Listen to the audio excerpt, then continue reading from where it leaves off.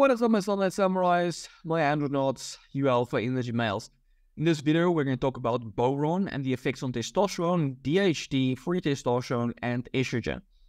So what you might not know is that boron can increase total testosterone as well, not just free testosterone. It's great for increasing DHT, and it has some interesting effects on estradiol that I would like to talk to you about. Let's dive in. Right, so this is the article that I wrote. If you want to check it out, get to the references, all the good stuff. Link will be the, in the description. Um, let's see. All right, so let's dive in. So boron on free testosterone. This is literally why most people use boron in the first place. Is because it increases free testosterone, or it's been reported to increase free testosterone. So here was a seven-day study. They used 10 milligrams of boron, and it nearly doubled their free testosterone. Here you can see it went from nine to almost 16. So it went from nine to 15. So it wasn't it was a really good boost that you can see there in free testosterone. And the free testosterone to testosterone ratio improved, meaning that they uh, the free testosterone went up more than the amount of total testosterone. So the amount of free testosterone went up was really good. So in terms of DHT, roughly 10% of free testosterone converts to DHT. So you if you have so the more free T you have, the more can be converted into DHT. So since boron increases NADPH, so NADPH is the cofactor for 5-alpha reductase, it should be able to stimulate DHT production as well in, by providing more free testosterone and the precursor for 5-alpha reductase.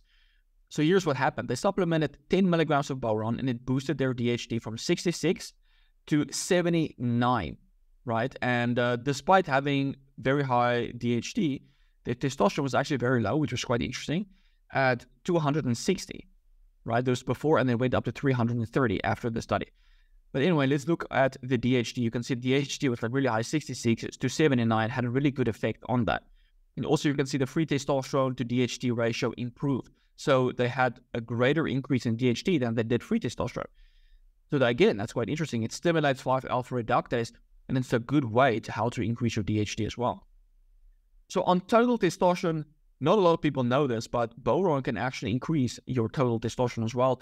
There might be a variety of different mechanisms. It's perhaps not the strongest um, testosterone booster, but on average, it increased testosterone by about 16 nanograms per deciliter.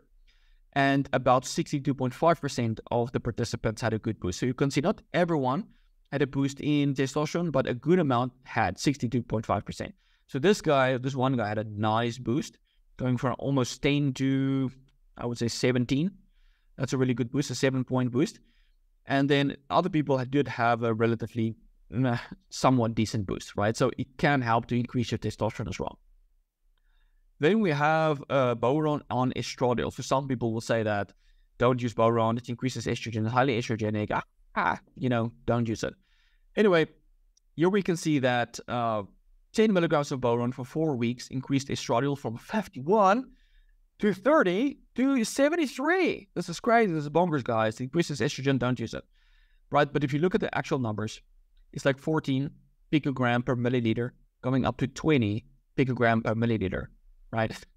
So in my ideal reference range, ideal estrogen levels is between 20 and 25. Usually if you see a compound that improves estrogen levels, it usually takes it between that range, between 20 and 25. So it boron increased testosterone from 14 to 20, basically at the bottom of that ideal range I was talking about. Well, bam, at that small boost, right? And then there was another study showing that 10 milligrams of boron for seven days lowered estradiol from 35 to 25. It lowered excess estradiol into the ideal range. It seems to have a modulatory effect. When it's too low, it increases. It's too high, it lowers it. Right? So it's not that estrogen is horrible. Anyway, so we can see here that estrogen decreased, and then I want to look at the ratio. You can see, so the testosterone to estrogen ratio increased a lot. So testosterone went up, estrogen went down, the ratio improved. This is what we want, an optimal ratio.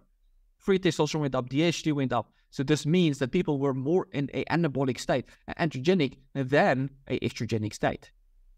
Boron has a modulatory effect. And then boron has a bunch of other benefits as well.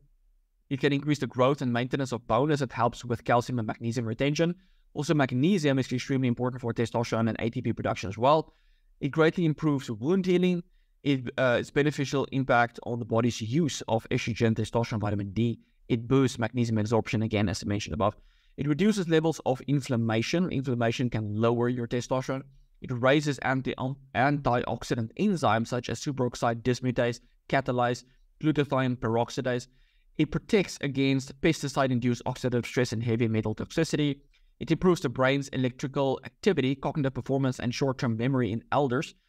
It influences the information and activity of key biomolecules such as SAMe and NAD. It has uh, doc- um, demonstrated preventative and therapeutic effects in a number of cancers, such as prostate, cervical, lung cancer, and multiple non Hodgkin's lymphoma. It might help ameliorate the adverse effects of traditional chemotherapy agents. It improves the joint discomfort, and it might help to increase your free T3 as well. So, yeah, there you have it right? It's not just good at increasing your free testosterone, it can actually also help to increase your DHT, a little bit testosterone, and help to modulate your estrogen levels. It's quite good. So it might have a lot of other benefits that you might not have known about. All right, guys, short video. Hope this was helpful. I will check you next one. Cheers, guys.